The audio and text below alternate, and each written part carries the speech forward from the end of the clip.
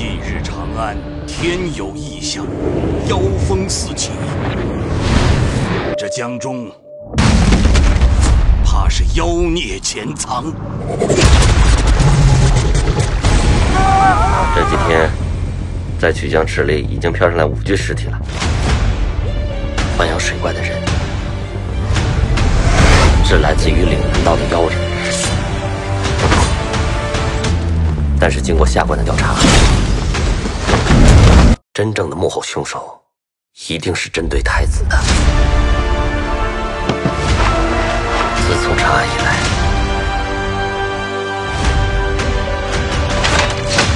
处处被动。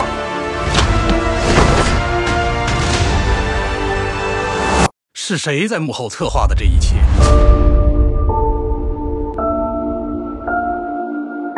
现在，这个人终于跳出来了。